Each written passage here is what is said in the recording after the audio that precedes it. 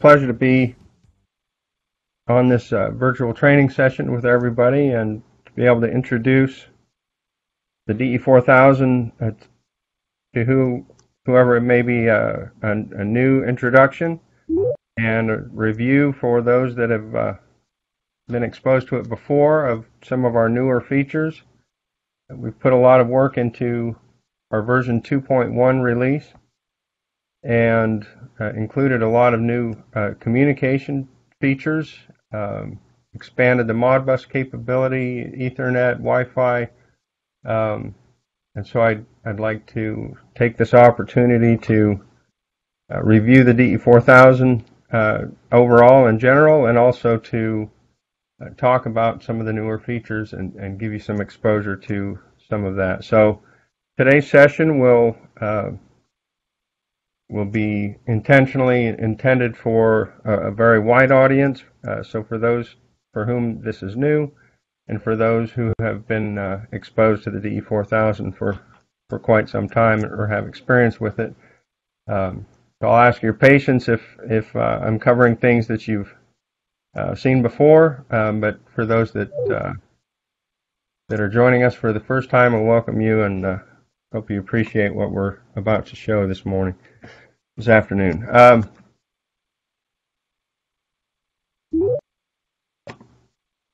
what you have in front of you uh, as I share my screen is the user interface for the DE4000. It's a web-based interface um, and it's usable uh, not only through the touchscreen display of the DE4000 but also through your uh, laptop and tablet devices. Uh, Brian, one, one, moment here. Your uh, your screen is not not showing up as being shared.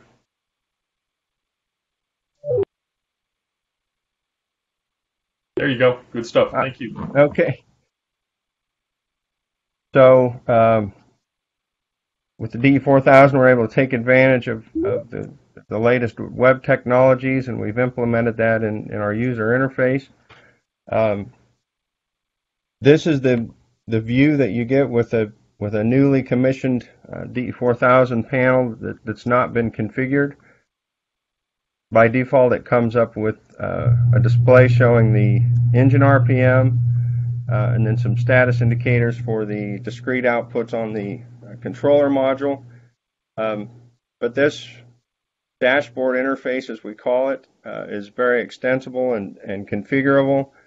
Uh, it allows for multiple pages uh, of, of display elements to be added and, and grouped together uh, for you, you, know, you could group items, for example, by engine parameters on one page,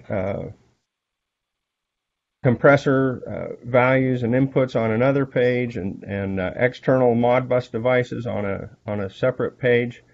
Um, but basically, this is this is where most of your interaction will be with the system, especially as it's as it's uh, up and running. Um, we'll we'll cover the other uh, configuration pages as well that are that are more involved in getting the system set up. Um, but the dashboard is allowed to uh, to present yourself and your users with, with the view that makes sense for you and your application so that so that you can see and interact with uh, the things that are most important to you. Um, you can always get back to the dashboard by clicking the uh, dashboard button here in the in the top left. Um, but but maybe the best thing to do to start out is if we just configure a couple of channels that we would have on a typical system, and then that will allow us to uh, show some of the other uh, functions and and the other uh, pages. So we're going to go down here and start with the, the channels button. And the first thing to note on the channels button is there's a, a drop down here at the top left that says terminal 1. And the hardware I'm working on right now only has one terminal module connected, but you can have up to five terminal modules on a DE4000. So the first step would be select the terminal module that you want to configure if you have more than one. And then this drop down shows all of the available uh, input and output channels for that terminal module. So as you can see, we have 32 analog inputs. Well, they're actually configurable inputs. They can be for analog or digital values, uh, but 32 input channels. And then we have eight discrete output channels, and then four uh, analog output channels. And then each terminal module also has uh, two RPM inputs. These can be used for the uh, primary engine speed or engine RPM, but they can also be used for um, detecting the, the rotational speed for other things like fans and, and so on, um, turbos and pumps or whatever whatever you might need. So for this example, we're going to configure a, a uh, suction pressure input on input 1. So we select that channel and then we set the sensor, sensor type. So for this example, I'm going to set uh, the pressure, uh, set the sensor type to pressure. And then if you're using one of our uh, Altronic transducers, all of the uh, pressure ranges are, are, available here in the drop down. So let's say we're doing a 0 to 200 uh, psi transducer, we would select that. Um, and it comes up with all of the, the default values which which you can modify if, if you need to. Um, so we have our units of measure which is PSIG, our display precision which is uh, one decimal place. Then we have a, a low gauge range and a high gauge range and I'll sh show you in a minute uh, what, what those uh, do for us on the dashboard page. But as we're finished with this, then we uh, just click the Save button to save that channel. And what you'll find is we can go back to the uh, dashboard page and now that we have that channel configured, we can click the edit icon, which is the little pencil icon here in the top left corner, and we can add a new display element to the dashboard. Now, this screen at first looks a little bit confusing, but it's set up in a rectangular grid. And so um, where I have the engine RPM, you'll see there's two icons over top of that display element. The, uh, the pencil icon allows me to edit that display element, and the uh, trash can icon allows me to delete that element. And then I have two empty placeholder elements on either side of the engine RPM. So I can add another gauge here on the left, and I could add another gauge on the right. Uh, and you can put any number of elements on a line, and they, they just start to squish or condense and become smaller uh, to allow them to, to fit in the, in the available space.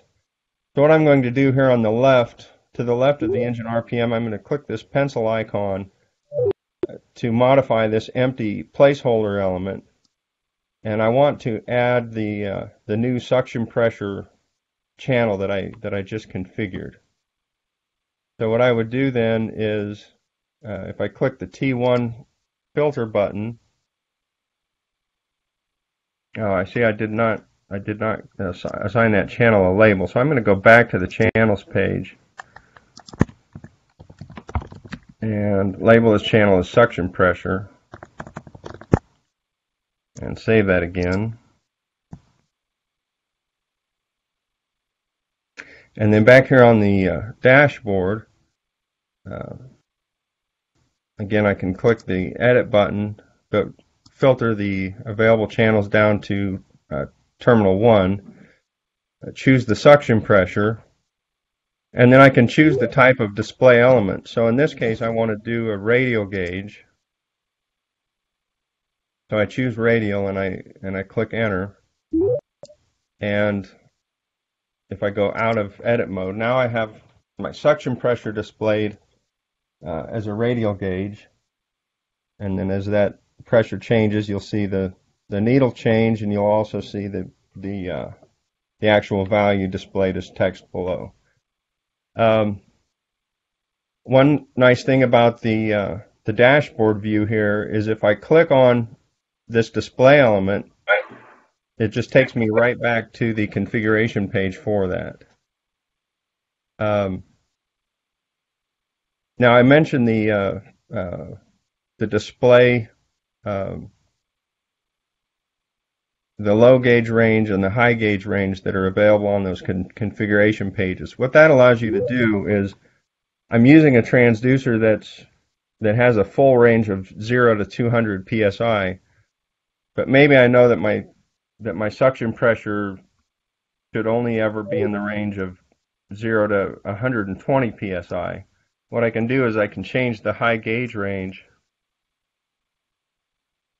to be 120 and when I save that then if I go back to my dashboard now my uh, suction pressure uh, gauge is, is showing 0 to 120. The transducer can still read values from 0 to 200, but this allows me to make better use of the uh, of the radial gauge, so I'm not showing a, a large span that I know uh, I'll never use as far as the usable uh, range of the values that I expect to, to read on that channel. So I'm going to repeat those same steps and, and add a second channel. So in addition to using the, uh, the drop downs here to select the channel, uh, I can also use the channel left and channel right buttons down here. So this allows me to just quickly move between the, the channels. So from channel 1 I can hit the right channel button, go to channel 2 which again is not configured, and I can set this up as a pressure channel as well and this time I'm going to label this as uh, discharge pressure.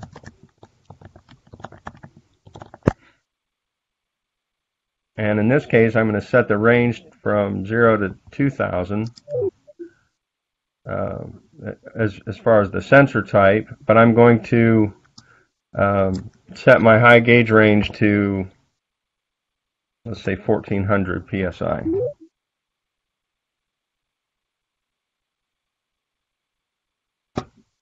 And then again, if I go back to the uh, dashboard,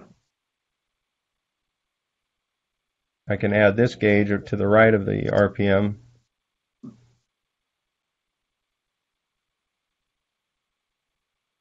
And set that as a radial gauge again.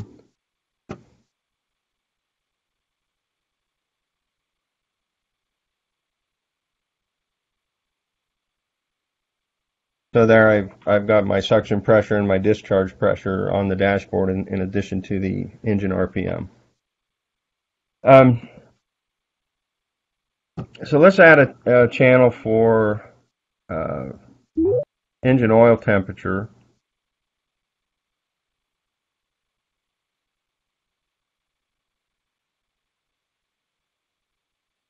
So in this in this case, we're going to set it as temperature and I could use a type of uh, K thermocouple, for example. Uh, set my units to Fahrenheit, and I can set the um,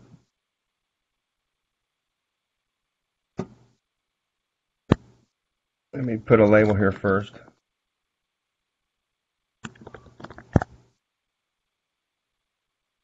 Um, so I want to talk a little bit about the uh, the high and low safety set points. Um, so I could set a uh, a high safety uh, set point temperature, say it's 200 degrees Fahrenheit. Um, if I if I don't want to set a low set point, I can I can just set a value that's low enough that I I know it'll never reach. Um, the other thing we can do is change the uh, input class. Uh, so if I wanted to make this uh, a class B, I could change that here. And then that allows me to uh, select a class B time, uh, which is the, the amount of time the sensor is allowed to be outside of its uh, safe range on startup before it would trigger a fault. Uh, and then I can do a class C, which um, is an input that can that can start out uh, as faulted, but once it reaches uh, the point where it's within its safe limit, uh, then then that channel becomes armed. Um, and then there's a, a, a new option here that that uh, you may not have seen before. We can now disable certain channels on cooldown, uh, and so that's where we expect certain process uh, pressures and so on to to drop below their their typical safe limits when we're doing a cooldown procedure. Uh, so we can check that box, and um, that would allow that value to change um, uh, above or below its uh, safety set point on a cooldown without uh, causing a fault.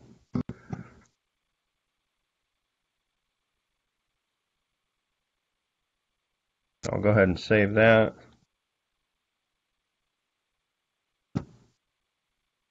So in this case, I can add that new uh, engine oil temperature and I can choose uh, a linear gauge that shows uh,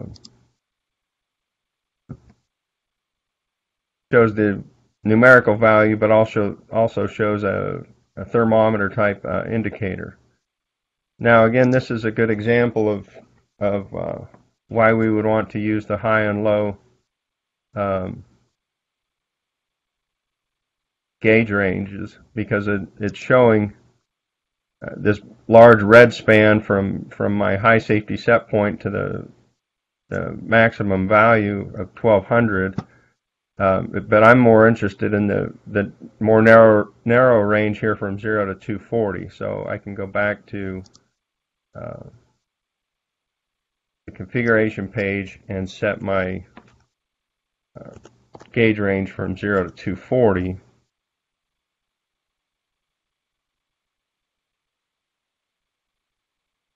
And now I have a much more uh, usable gauge there. Um,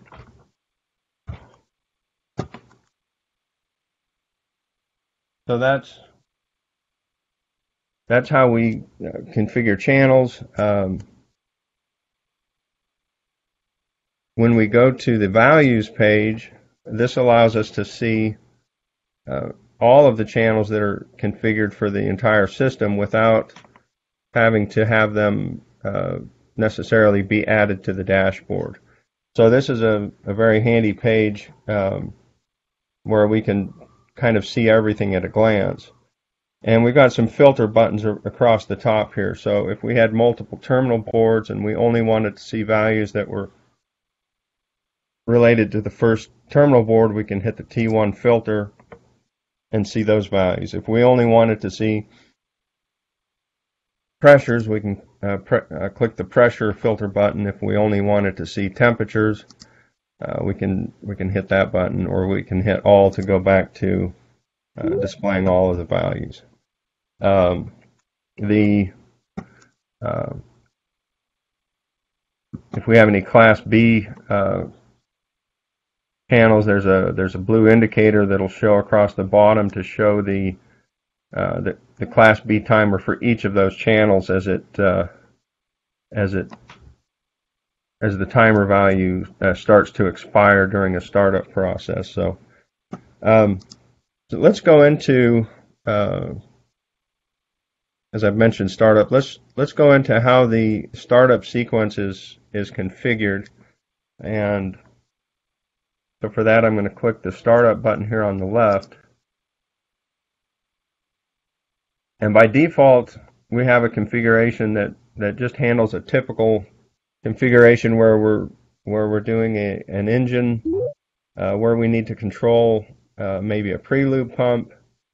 Uh, we need to power on the ignition and we want to power on a starter motor. And so for for for this uh, example, we're going to be using the four DS outputs that are on the controller module, and and uh, by default, those we have indicators that are on the dashboard that that show each of those, and again, by default, they're typically labeled fuel, ignition, uh, crank, and pre-lube. So we're going to uh, stick with those functions uh, for this example. So going back to startup, you see that our uh, zero state is, I'm going to label this as uh, ready to start.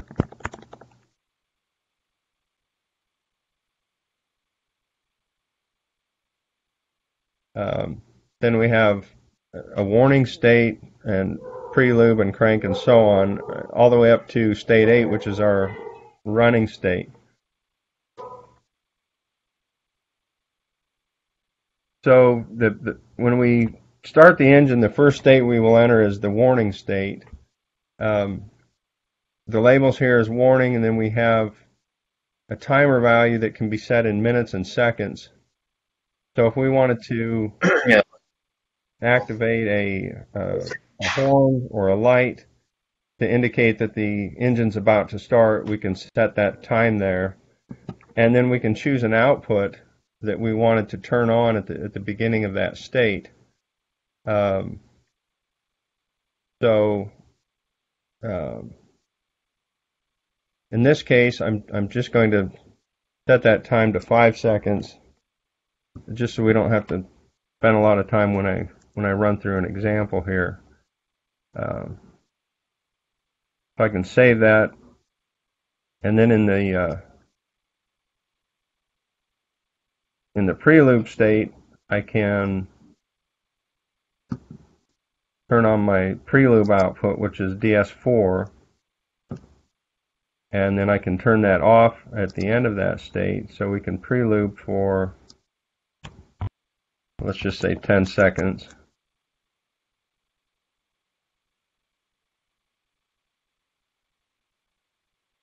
And then in uh, state three, which is our, our engine crank, we want to turn on output DS3 to start the starter motor.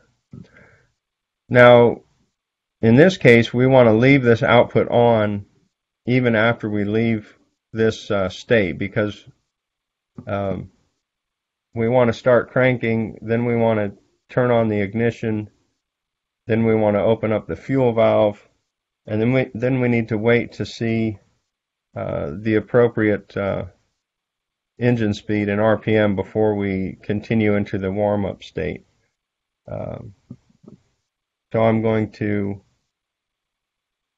check this box to, to turn the output on at the beginning of this state uh, but we'll leave that on as we continue through the next states. And so we only need to be in this uh, state for just a couple of seconds just to allow that the starter motor to, to start cranking. So we'll save that.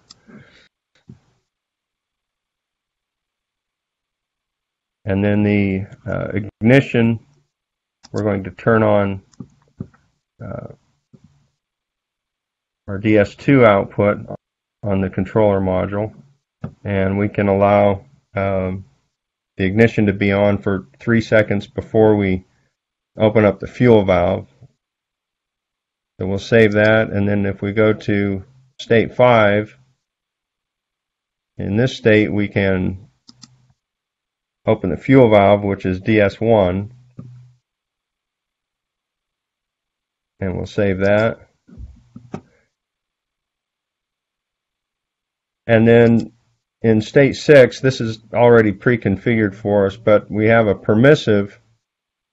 Um, permissive A is enabled, and it's it's looking at our RPM input on terminal module one, and is looking for a value greater than uh, 400. So we'll stay in this crank wait state until we see that engine RPM, and if we never exceed that value, um, before our timeout expires, which is set up here in the upper right corner, which is 20 seconds. If we never reach that RPM value of 400, then we'll have a timeout event and uh, we'll go back to state zero ready to start with a fault message uh, displayed. Um, otherwise, if we reach that uh, permissive before that timeout occurs, then we'll proceed on to the next uh, to the next state. Now we had uh, started our starter motor, which was on DS3 at the beginning of the uh, state 3, which was crank start. We want to turn that off regardless of, of whether we have a timeout or not, we want to turn off that starter at the end of this state. So we'll either turn it off and proceed to uh, state 7 uh, and warm up, or if we have a, a timeout event uh, because we don't reach our minimum RPM, we'll turn off that, uh, that starter output and go back to state 0. So we can go ahead and save that.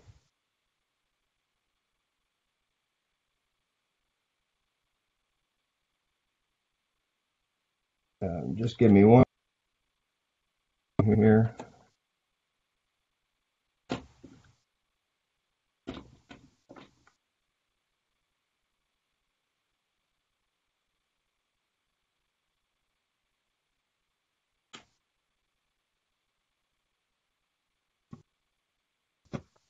Need to uh, I need to reconnect my RPM simulator. So just give me a, a second here.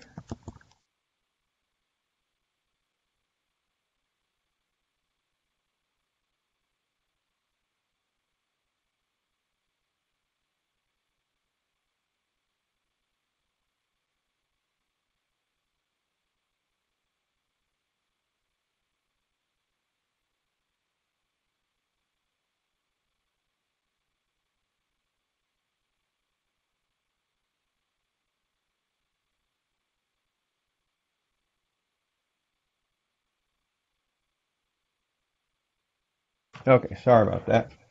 Um, all right, now I'm able to simulate engine RPM. We can proceed. So uh, going back to our startup sequence, um, we can then set a time for uh, this warm-up state. So we're going to configure this as 30 seconds. And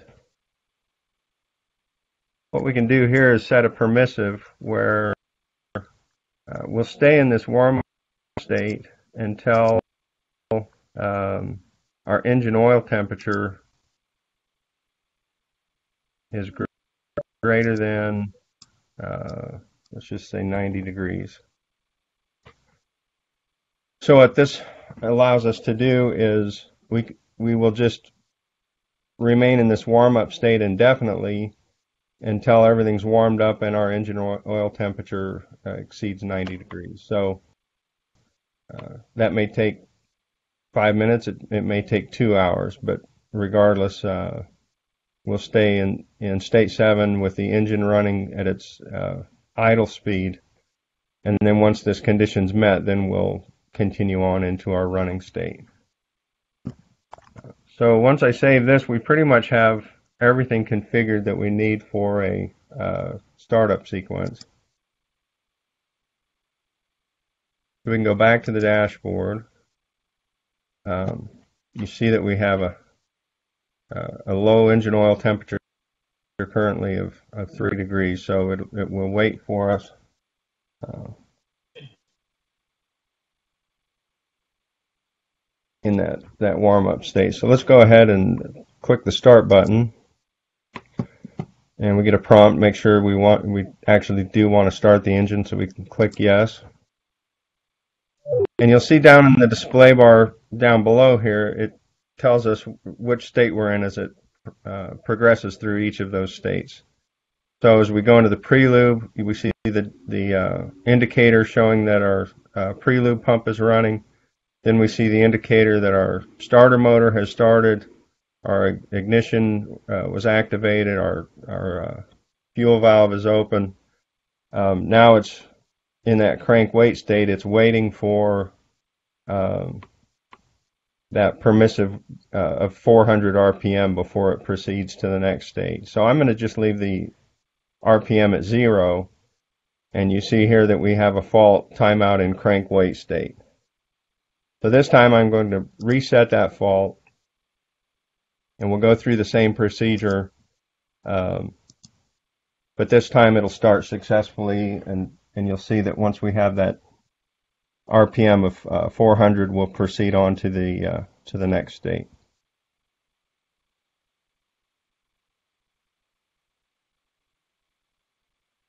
Now we're cranking, so we've got some uh, RPM. Now we've exceeded 400 RPM, so we've gone into the warm-up state. And again, with the warm-up state, uh, we have to see that engine oil temperature uh, above 90 degrees. So it'll stay in that state. Oops. There we go.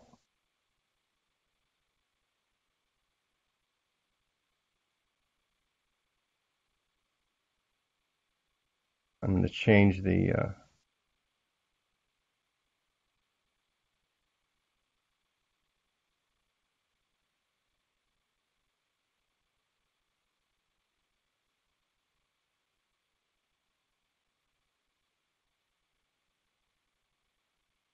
I'm not using an actual transducer here right now for this engine oil temperature, so I'm going to change this.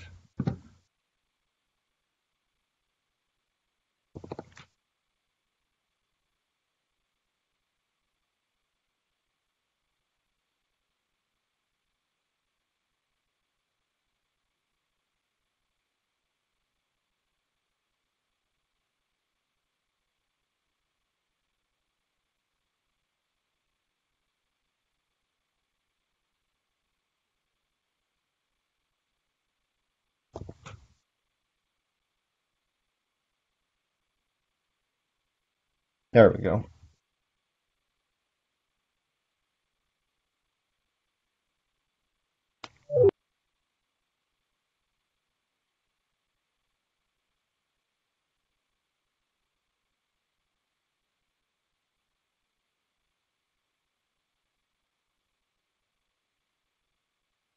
Okay, so let's repeat that one more time.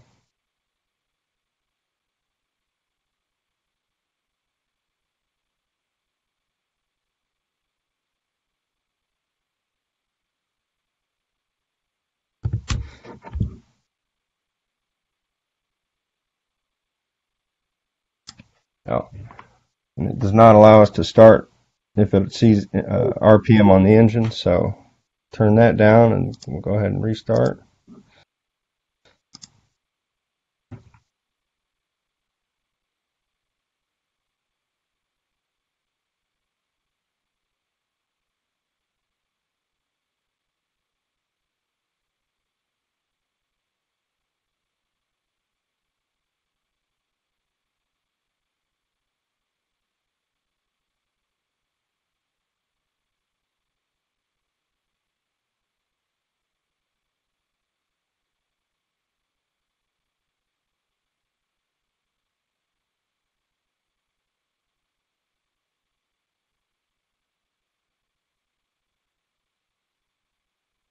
And again, now as our engine oil temperature increases, once we exceed uh,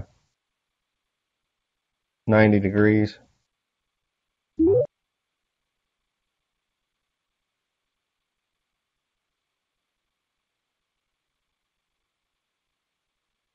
and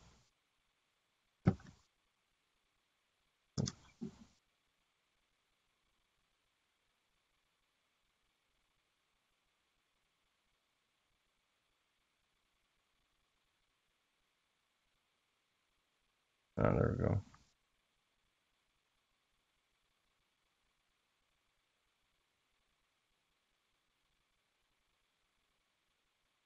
Oh, okay.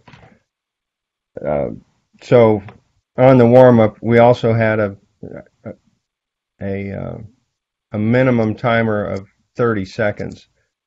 So it not only has to reach the uh, the 90 degrees, but then it has to um, then it's going to wait uh, a minimum of 30 seconds after that permissive condition has, has met before it proceeds on to the uh, to the running state. So, um, so anyway, I don't want to spend too much time there because this is um, things that we've we've shown before for a number of you. Uh, so I want to move on to uh, some of the newer features. Um,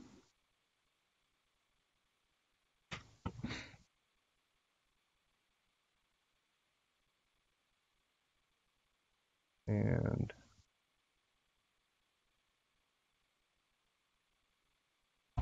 so I want to talk about um, uh, the number of changes we've made in terms of uh, communication, um, networking, um, our new Wi-Fi functionality. So um, a lot of this we're going to find if we go to global. Um, and let me just explain some of the uh, uh, some of the settings we have here under the under the system system settings under global. Uh, we have a system name, and that's just an indicator for you to know uh, which system this this might be. Um, might be unit number 255. Um, you can set the number of terminal modules anywhere from 1 to 5. You can set a global alarm output, so anytime you have an alarm condition, one of the discrete outputs uh, will activate, so that can be uh, set there. You can also configure a fault output, so when the system's faulted, again, one of those discrete outputs would uh, would activate. Um, you can configure which is the uh, primary engine RPM, and then there's a setting here to determine when you want the B timers on the on the class B channels, whether you want those to start counting down uh, when the start button's pressed, uh, when we when we start to uh, crank the starter motor, or once we've exceeded uh, a certain RPM. So, for example, you could say um, the the class B timers would start once we reach um, that permissive value of uh, 400 RPM. Uh, and then there's a timer for test mode, uh, which I'll explain uh, in a little bit, but that allows us to go through and test the, the uh, channels while the engine's actually running. But to keep things safe, we put a, a timer on that, and that defaults to five minutes. Um,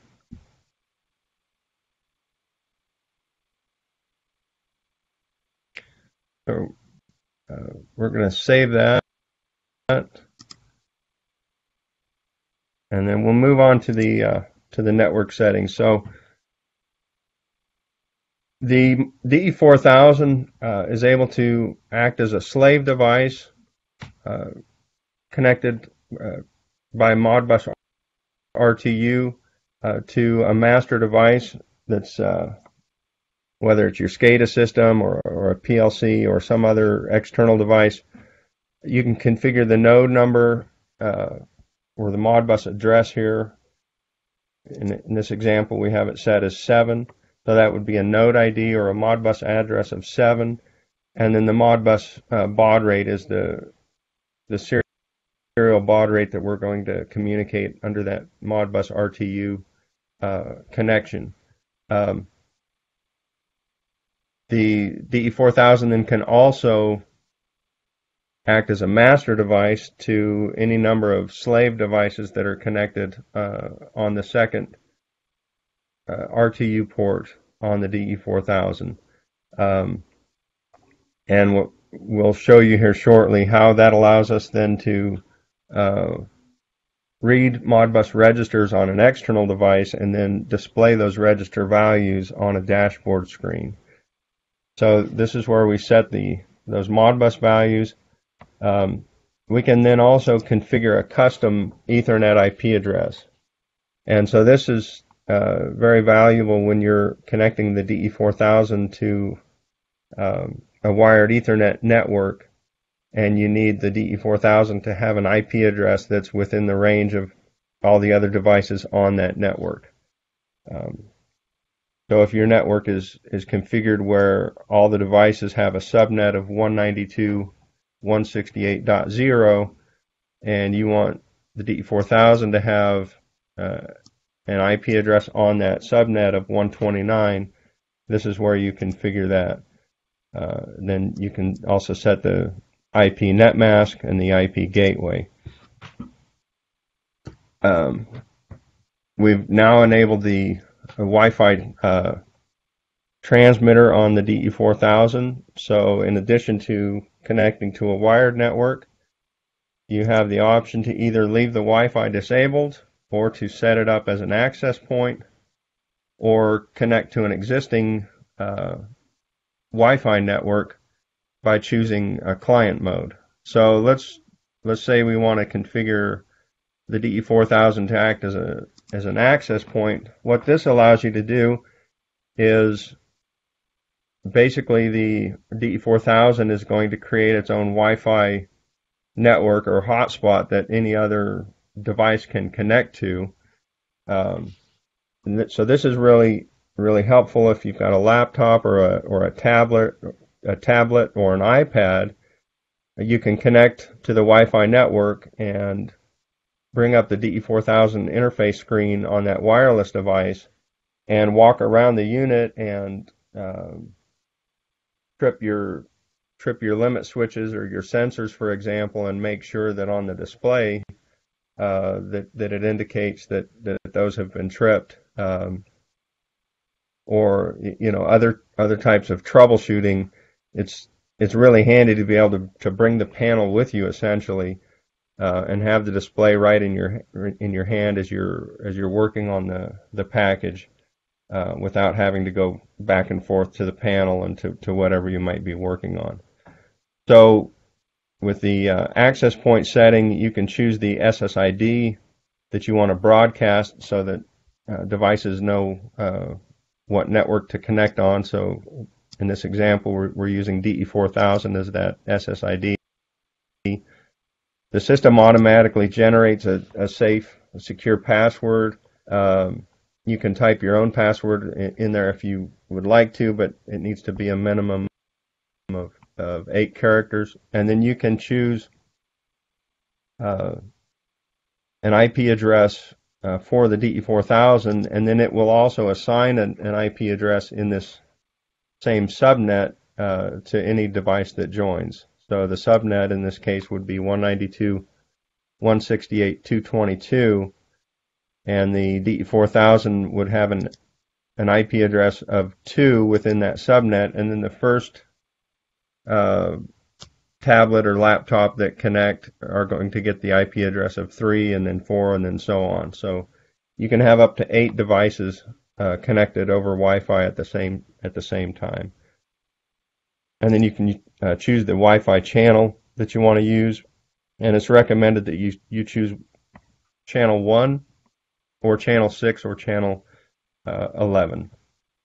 And you can have multiple DE4000s uh, using those same channels, but um, if if you can keep those separated, it's it's preferred. But if you had six units, for example, you could put two on channel one, two on channel six, uh, and two on channel 11, and they they would still interoperate without um, without conflicts. Um, the the main thing you would want to do is make sure that you assign a unique uh, SSID to each of those DE4000 units that are all uh, within range of each other.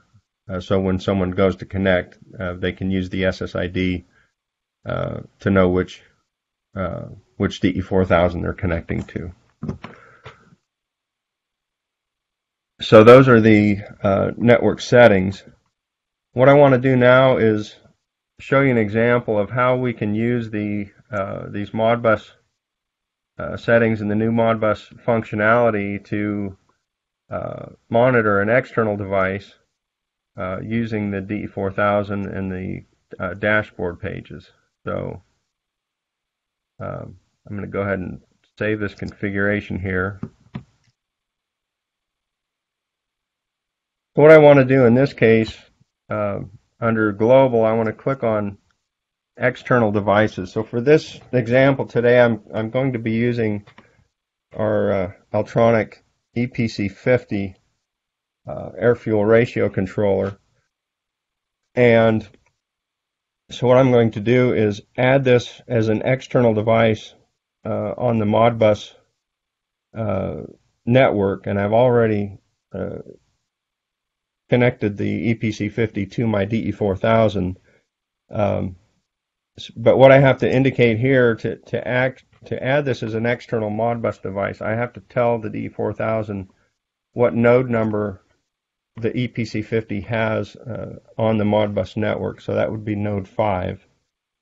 And in this drop down here, I can choose a profile um, to tell it what type of external device it's connecting to. So the profile defines all of the channels that are available for that external device.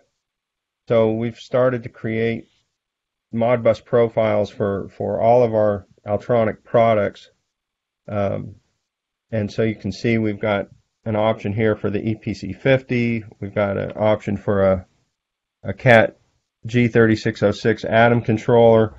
Um, and even an option to connect to another DE4000 as an external Modbus device. So I'm going to choose the EPC50 um, and then you can assign a unique uh, name uh, but I'm in this case I'm just going to leave it as EPC50 and then when I add that uh, then it shows up on my list of active Modbus devices and so once I've configured this as, as an active Modbus device, I can come back to the dashboard.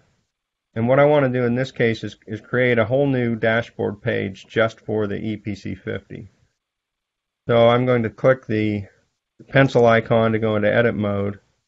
And where this uh, this round indicator, the top middle of the screen, um, that's an indicator to show how many dashboard pages are are available and which ones are being displayed. So by clicking plus, I can add a new dashboard page, and you could think of it as being to the right of the currently displayed page. So I'll click plus to add this new page, and now I can start a new row of dashboard elements where I have this plus sign here on the left. So when I click that, it's going to show me all the channels on all the different uh, terminal modules and virtual channels. And uh, to filter that down some, I'm going to click EPC50. And then I can sort the channels either alphabetically, but in this case, I want to sort them by channel number. It'll just make it a little bit easier to, to uh, find the channels I'm looking for. So I want to find uh, first the supply input voltage. So this will show me the, the power supply voltage coming into the EPC 50. And in that case, it's, um, here it is, it's, uh, it's register 30,009. Um, so the way this is labeled, the MB5 indicates uh, which Modbus port number and then the 30,000 shows it's in the 30,000 block of registers and it's actually register number 9. Uh, you may wonder why we don't just show that as 30,009 as a single number and the reason is is uh, um, we can access a total of over 65,000 registers in either either the 30,000 or 40,000 block. So we need a way to, to show a register number that's actually larger than 30,000 or 40,000. Uh, so we use a colon to separate the register block from the register number. But uh, if you're looking at a at a Modbus chart, you you may see this listed as 30,009 as a as a as just a single number. Um, but once I add that, then the DE4000 uh, will start to pull that Modbus device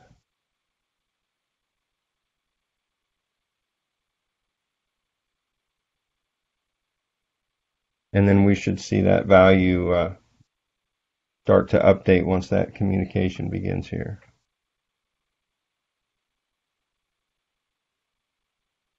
There we go. So you can see that uh, that the Modbus, uh, the EPC50 is indicating that the supply voltage is 24 volts. So I can go and add uh, another device or another uh, register. So I'm going to again go to the EPC50, sort them by channel number. Um, in this case, I want to show the exhaust temperature coming out of the engine. And then I can add, add EPC 50, uh, the catalyst temperature, and then I can add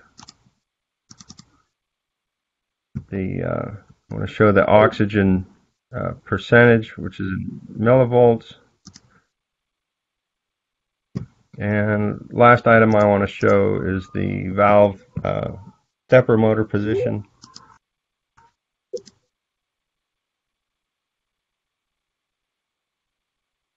And right here in register 17. There we go. So as you can see here, I can I can map any number of channels from a uh, external Modbus device and and display those uh, on a dashboard page of the DE4000. They don't have to be on a on a separate page, so you can you can mix and show side by side uh, internal values from the D4000 along with uh, external devices uh, external device values.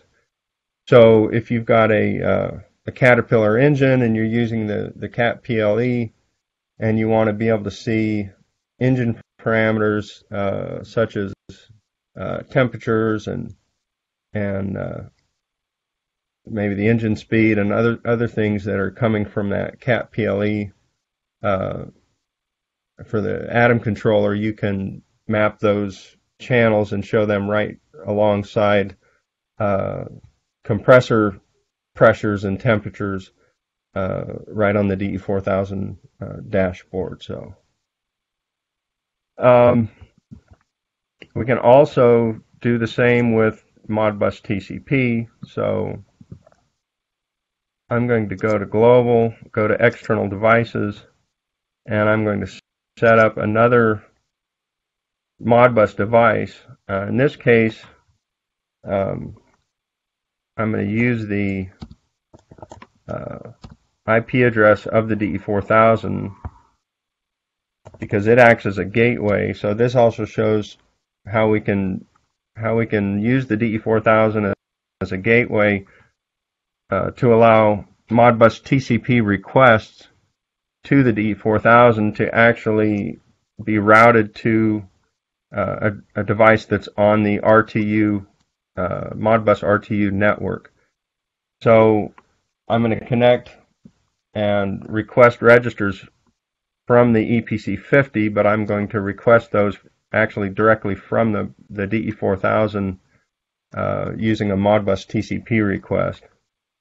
Um, so the way you do that is you set the node number as the actual IP address of the device you're communicating, and then you add an extra dot and the, the uh, Modbus RTU node ID. So in this case, it's 98.102.65.174, which is the uh, IP address, and then an extra dot five to show that it's node number five. Um, and we're still reading from the EPC 50, so I'll set that as the type. Um, and then I'm going to give this one a name of just TCP, and I'm going, going to add that. Um, now I can go back to the dashboard and I can click the right arrow here to go to my, my second dashboard screen. Um, what I'm going to do is just add a couple of the same channels, but this time I'm going to uh, click on TCP, uh, sort by channel again, and I'll select the supply input voltage. I'll do the uh, exhaust temperature.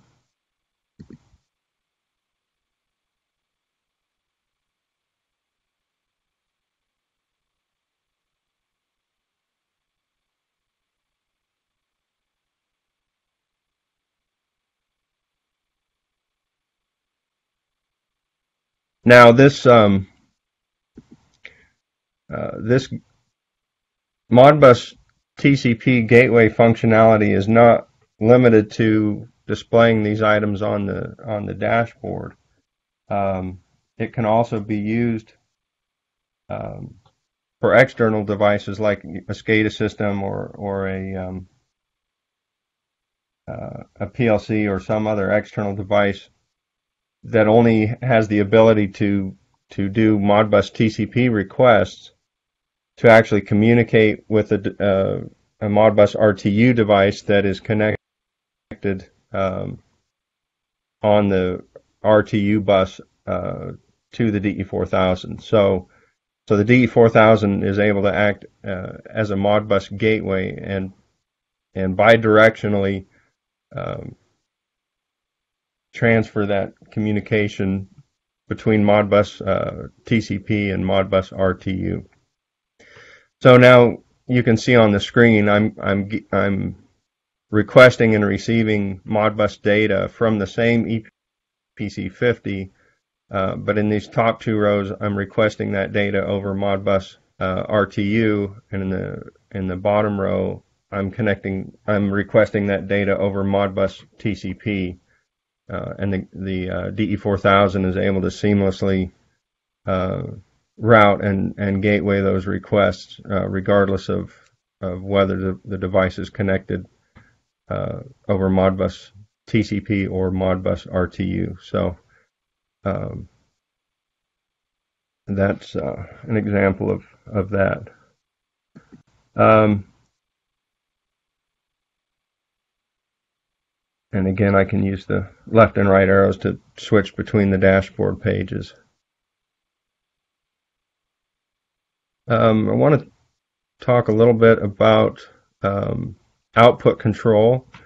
Um, this is used primarily for things like uh, valve control, uh, valve sequencing, and, and, and so on. Um, it's tied closely to our uh, startup state machine.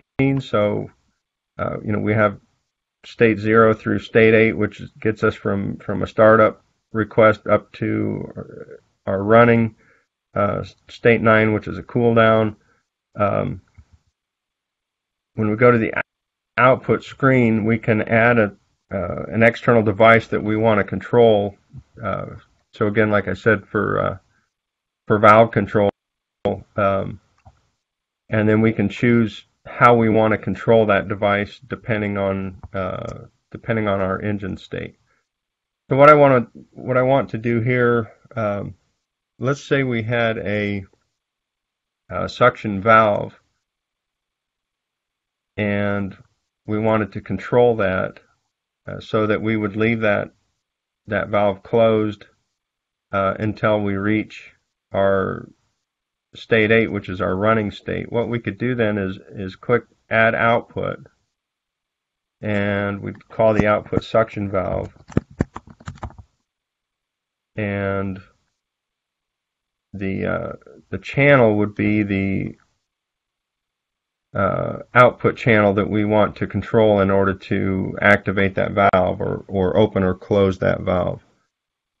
So let's say we would put that on uh, terminal 1 using uh, discrete output number 7.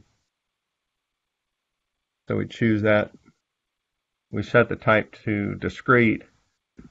And then it, the valve may be configured that that it opens when when uh, when the output is energized or that it closes when the output is energized. So we want to uh, indicate that the valve is open uh, when this terminal 1 discrete output 7 is, is energized.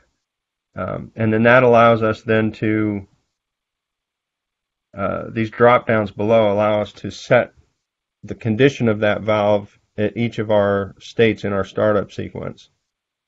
So we can say here then that, that uh, the state 0 position is closed, and then state 1 through state 7 we can leave as no change, and then state 8 we can say is open. And what that's going to do then is say that anytime we're in state 0 or, or any of the following states, 1, 2, 3, 4 through 7, uh, the valve stays closed, and then once we reach state 8, then the valve is open. So I'm going to go ahead and add that. I'm going to go back to my channels and under uh, discrete output 7, you, you can see it's uh, it's added a label there for suction valve. So I can go to the dashboard now and add a new element in this open space here and it's on terminal 1 and it's called suction valve and I'm, I'm going to choose a element type of valve which shows me with text um, either the, word open or closed so I can see the condition of that valve. So again, we're in our, our state zero ready to start, and it shows that that valve is closed. So I'm going to go ahead and go through the start procedure. And we should see that when we reach state 8, which is running, uh, then that valve uh, state should change from closed to open. So um, this example is just showing where you, you can make just discrete choices at, at each state, whether you want the valve to be open or closed.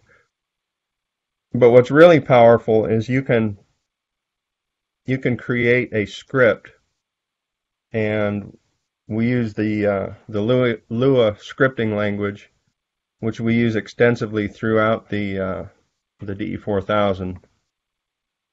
And sorry, I was busy talking. I didn't turn on the engine RPM. Um, so we use the Lua scripting language uh, extensively throughout the DE4000. And what we can do with the output control is we can uh, we can use scripting logic at any of the states to determine whether the valve should be open or closed. Um, and I can show you an example here um, of how we do that. But let's first see uh, this first example here, how it works.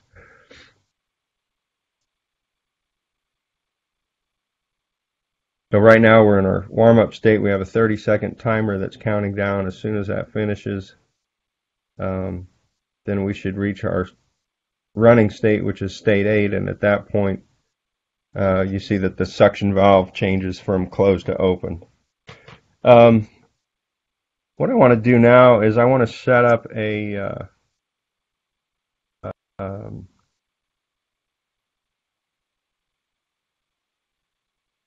let's say that we have uh, a building that we're running uh, this engine compressor package in, inside of a building and we have a ventilation louver uh, on the outside of the building. And let's say that anytime the um,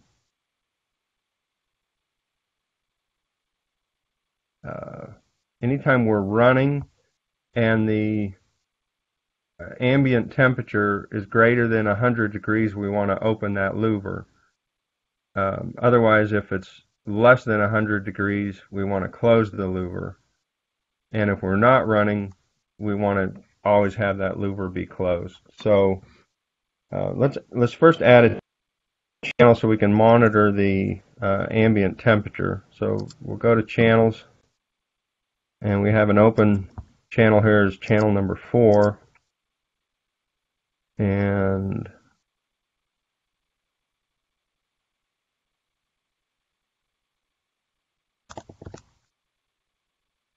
Give me a minute to configure this channel. Um, set the uh, units as degrees Fahrenheit.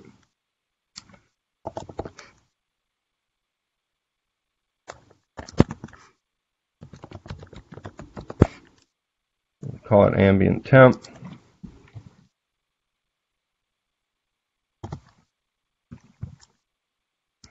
So let's first add a indicator so we can see that temperature. So we want ambient temperature. We'll just display that as a value.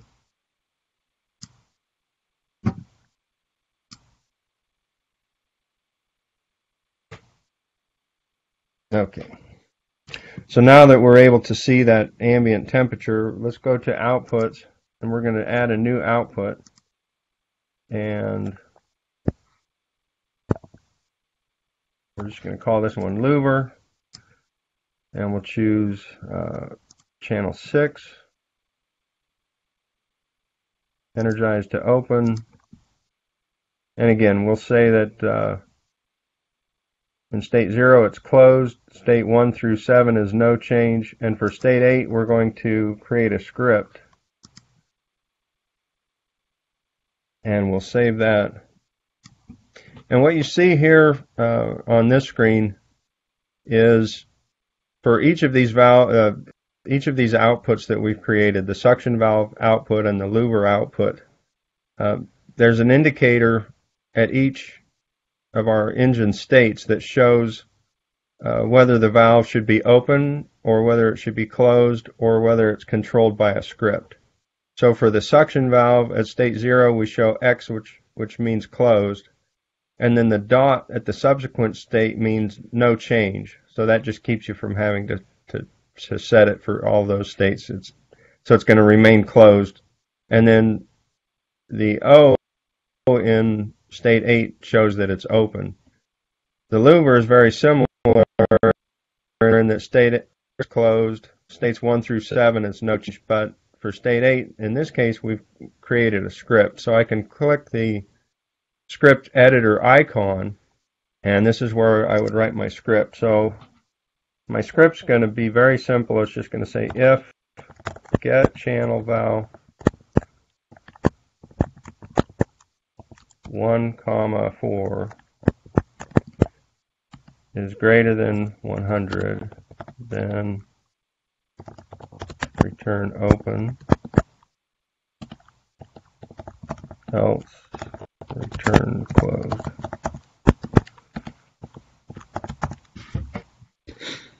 So it's just reading um, terminal module 1 channel number four, and that's what this get channel valve function does. It it uh, goes to terminal one, channel four, and and retrieves that value. And then we're doing a comparison. So we're saying if that value, which is which is our ambient temperature, if our ambient temperature is greater than 100, then we want to set the state to open. Otherwise, we want to set the state of that output to closed. So we can save that. that. And so now we need to add uh, an indicator for that louver output. So we'll put that on the dashboard screen and it's on terminal 1. And it's our louver at discrete output number 6. And this time I'm going to use an LED indicator instead of the open closed text indicator and we're in our running state, state 8, and our ambient temperature is 105 degrees, so we show that the louver is open. And then we should see that as soon as the uh, temperature drops below 100, then the louver closes. And then as it goes above 100 degrees, then the louver opens. Um, next week, we, we will be doing another uh, session on the DE4000. Um, the, the topic for next week is going to be all about um, scripting and uh, advanced uh, control strategies and, and algorithms. Um, so if, if this this type of uh, if this type of thing interests you, I invite you to come back and, and join our section session next week. Um, not only will, will I be on that session, but uh, uh, John Nance, uh, who's one of our field representatives, and Tim Webster, who is one of our uh, panel engineers, uh, will be helping uh, me with that session. And so we'll have a lot of uh, really good information and, and, advanced information on Lua scripting in general, as well as as uh, some of the um, control strategies and, and different things that we've implemented with, with the Lua scripting. Um, we try to provide as much information as we can so that you can do a lot of the scripting yourself. Um, but we also have resources available if, if there's something that you need to uh, you need our assistance uh, in in doing a custom application. Um, you can contact our, our engineering department or the uh, uh, the the panel shop and uh, get more information on um, you know contracting those resources that you might need to to help you with uh, with those advanced uh, scripting applications. So um, so that's a that's a couple uh, examples of, of how we can leverage the uh, this this output capability, um, and, and and those were both just very simple applications. But we've been able to do some some very complex uh, complex things as far as uh, yard valve control and um, and and even things that aren't uh, you know valve related, just other more advanced control strategies and things using these uh, these tools that I've shown you here. Uh, the next thing I want to talk about though is um, we have a what we call a, a split range uh, control strategy that allows us to um, monitor up to two inputs such as suction control and discharge control. And based on the status of, of those inputs, uh, we can control the speed of the engine and also we can control an additional output uh, such as a recycle valve, for example, um, in order to try and maintain our, our process within within you know certain boundaries in terms of uh, suction pressure and discharge pressure uh, to, the, to allow the unit to continue to operate at, at uh, you know its maximum output capacity, but without exceeding the, the limits we want to set on uh, on those suction and discharge pressures. So um, for that, we would go to control and uh, or, I'm sorry, go to global and then control. And as I said, we can control on two uh, conditions. So we're going to set the first uh, we're going to use our uh, suction pressure as the first input. And we're going to set that up to be linear. And we put two set points. So for the first we're going to do a pressure of 20 psi and for the second we're going to do a pressure of 60 psi and so what this means is that we have a linear um, a linear mapping uh, so that when the suction pressure is at 20 psi, uh, our engine speed, for example, would be at, at its lowest uh, rated RPM. And then when the uh, suction pressure is 60 psi, we would run at our, our highest rated RPM. And then any value between 20 and 60, it's just going to scale linearly. Um, we can do the same thing with the discharge pressure and again, we would do a linear relationship, and it's going to be at the 0% uh, or the low speed output when our pressure is, uh, let's say, 1200 psi. Um, and the engine's going to be running full speed when we're, say, at 800 psi. And the uh, output channel, we can choose one of our uh, analog outputs. Choose output 2. And then, as I said, it's it's a split range controller, so we can split the range of the um, the, this range, for example, between 20 to 60 psi. We can allow the engine speed to be controlled across that entire range by setting this uh, from 0 to 100%, or we could set uh, set the range to be 50 to 100%, and then we could allow our um, recycle controller to control between 0 to, to 50%. So in this case, we could choose analog output 4 for the recycle controller, and we could set that to be 0 to 50%.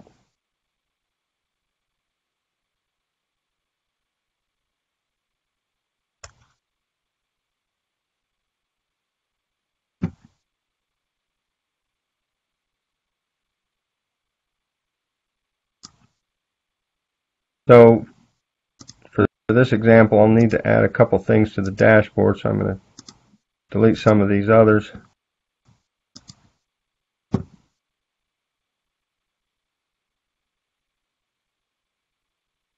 So there's uh, what we call a virtual channel. Uh, uh, speed target, which shows um,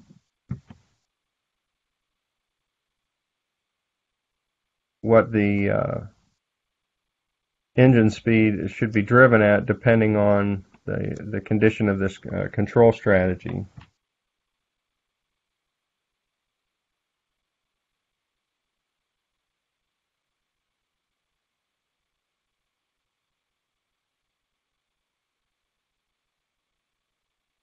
So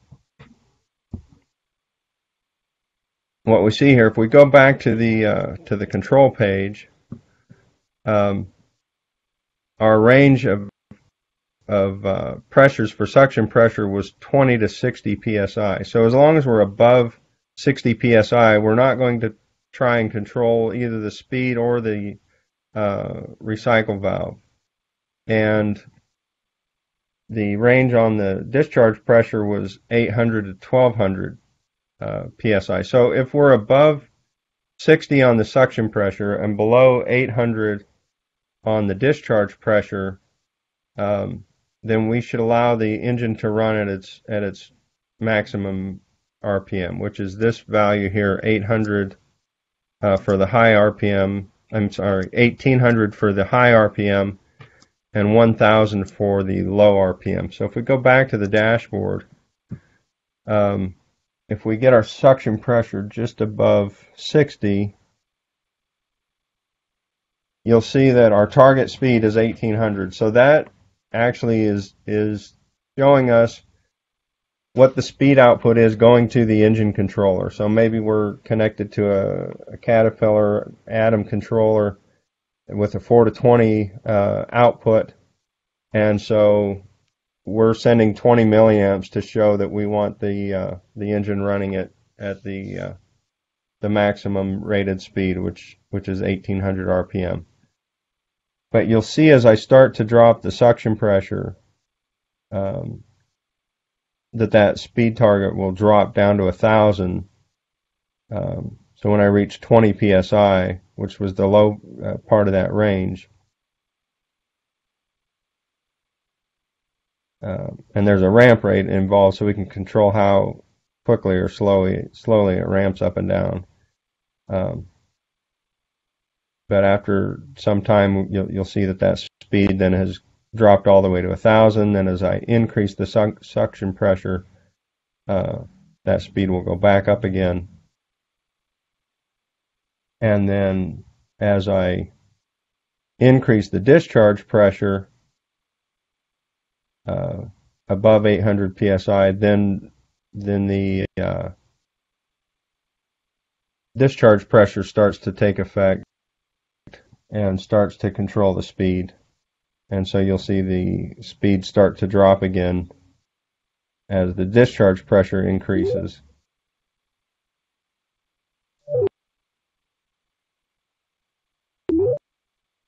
and then once the discharge pressure gets back below 800, that'll allow the uh, the speed to, to climb back up. Um, we can also, as opposed to uh, instead of doing a linear relationship, we can configure a PID for each of these inputs. Um, so in that, that case, you would set a single set point instead of having a range. So maybe we want our set point to be 60 psi, and we, we want to maintain that pressure no matter what. And we can set the PI and D factors uh, involved with that, and the same for the uh, discharge pressure. We can set that as a as a, P, uh, a PID loop as well.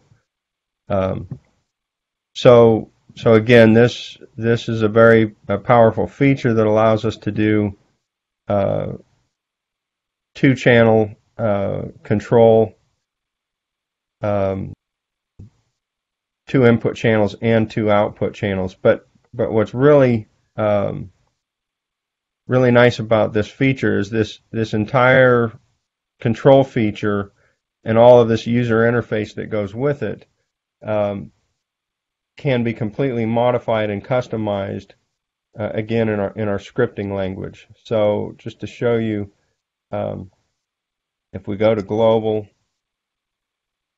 and go to scripts, uh, we have four main uh, script editor pages basically where you as the customer can uh, write custom scripts. So in this case, if we wanted to, to modify the way this control strategy works, you would go into control script and if you if you needed to do this, we would provide to you the default control script and you could paste it into this window and then you could make changes to to that control script. And by doing so um, you could modify and customize how this uh, split range control works. And you you'd have full control to, to make it work any way you want so you can take what we've done as a starting point and and tweak it or modify it uh, or we can do that for you as well. So um, if if what we've created here under this control strategy is 95% of what you need, but maybe you want to drive a third output instead of just two outputs, we could we could do that um, through that script editor. Um, and so I, I, do want to talk a little bit more since I brought it up about um, the scripting and and those those different script editors that I just showed you. So if we go to global, go back to scripts. Um, like I said, we have four script editors. Uh, this master script um, allows us to write Lua script to control uh, any aspect of the system, um, but it's different when we when we looked at scripting under the outputs and we created that louver script it was just a very specific script that only ran if we were in engine state 8. So if you wanted to control that louver, uh, let's say to to function all the time regardless of what the engine state is, let's let's just look at how we would do that. So if we go in and copy this script here,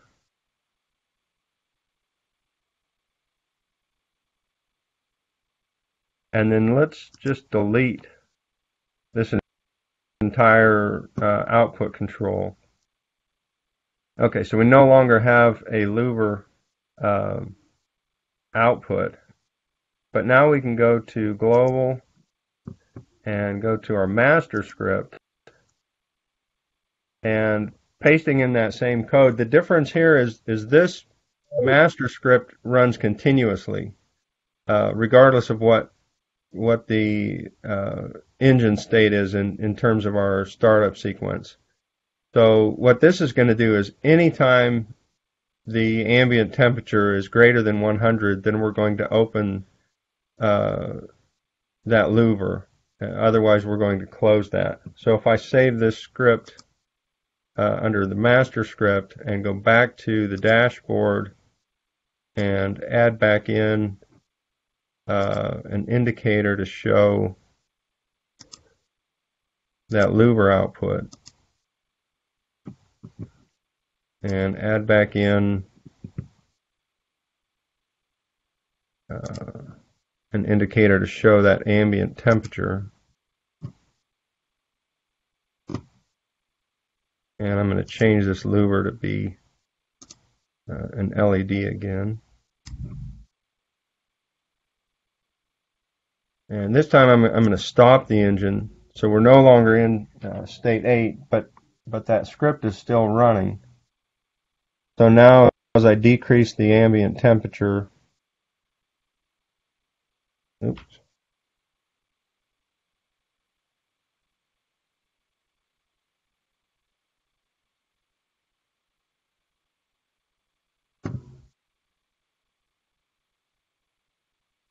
Oh, that's right. We can't we can't just say open or closed. Um,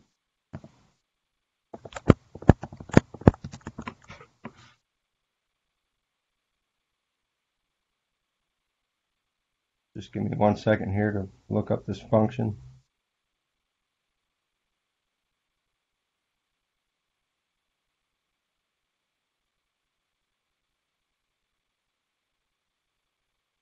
Okay.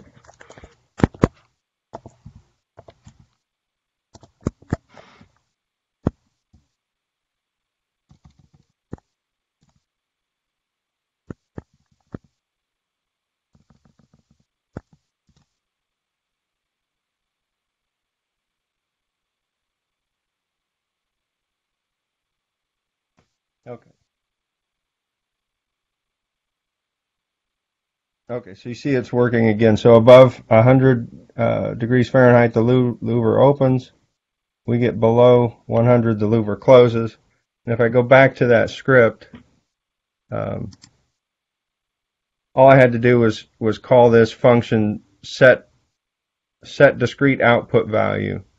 So this is setting discrete output on terminal uh, terminal one uh, channel 6 and one uh, a parameter of 1 opens that output or activates that output.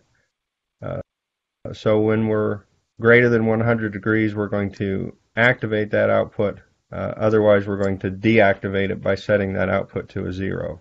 Um, so uh, again the master script is running all the time. You can still add code in there to to look at what what the engine state is, uh, you know, our startup sequence state, so you can still make choices based on, you know, if I'm in state seven, I want to uh, turn something on or off, or I want to change something. If I'm in state five, if I'm in state eight, so you can still do all of that type of logic, uh, but it's more general purpose instead of just being related to the output control like we like we saw before. So that's the master script. The control script, um, as I said, allows you to mod uh, modify and customize that, that split range uh, control strategy. Um, the Modbus script allows you to uh, completely customize or modify our default Modbus mapping or maintain our existing Modbus mapping but add additional Modbus registers uh, of your own. Uh, so if you if you're trying to replace a system with a DE4000, but you can't change the SCADA system, and, and you need the Modbus registers to exactly match uh, what they were on, on the device you're replacing, you could create a, a completely default, a, a completely custom Modbus mapping by going into this uh, Modbus script and, and writing script code in there. Um, and so it gives you a, a, lot of flexibility. We also have the ability now to, to handle Modbus uh, Modbus writes. So an external device can write to the DE4000, and we can we can uh, you know trigger certain things or or take actions based on the values that are written into uh, Modbus registers. And again, you have complete control over that with the uh, Modbus script. Um, the last script editor is is called the demo script, and that's something that's used on our virtual DE4000 platform.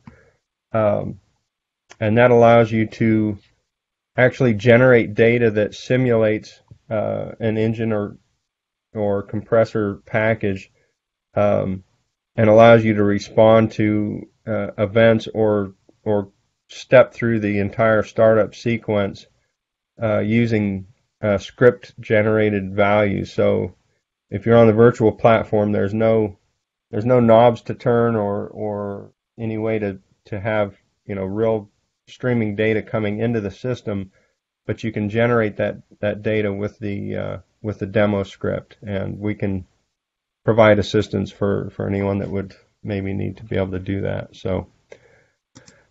Um, appreciate your patience. Uh, staying with me through through all of this. I know it, it's uh, a large amount of data. Um, hopefully, it's been useful for everybody.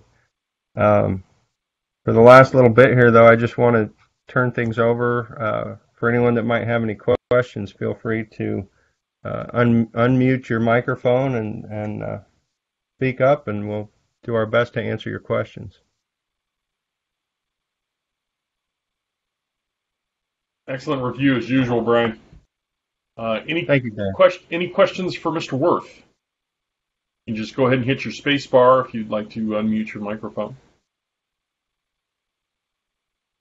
Hi, Brian. Hello. Can you hear me? Sure can. Yes. Kelly. Okay.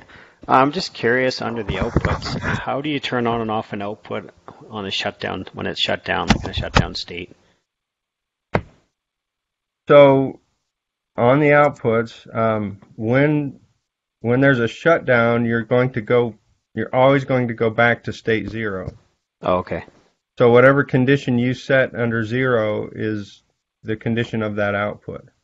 Okay. Um, now you can you can replace that fixed condition of just open or closed with a script if you want. So let's say you wanted to do a um, uh, a post lube.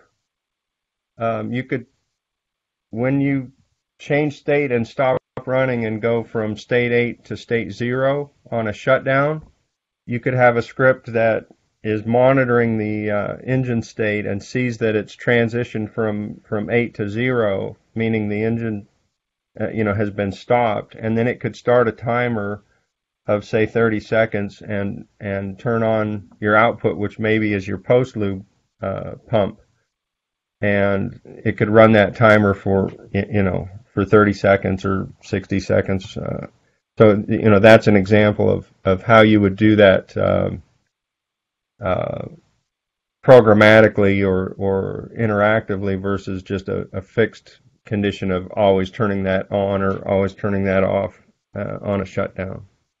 So every time it shuts down, it goes to that state zero. It always goes to that state zero. That's correct. Okay.